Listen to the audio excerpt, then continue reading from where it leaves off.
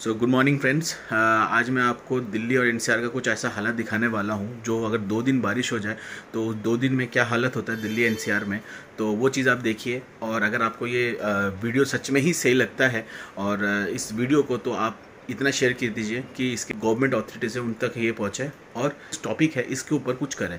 तो आइए टाइम बिना वेस्ट किए देखते हैं कि क्या दिखा रहा हूँ मैं आपको। आइए।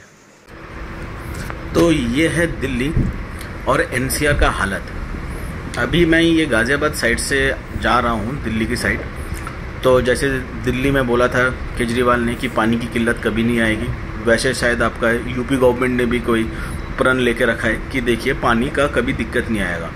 कि इतना पानी है कि आप यहाँ पे मछली और नाव लेके भी चल सकते हैं। तो यह है दिल्ली एनसीआर का हालत।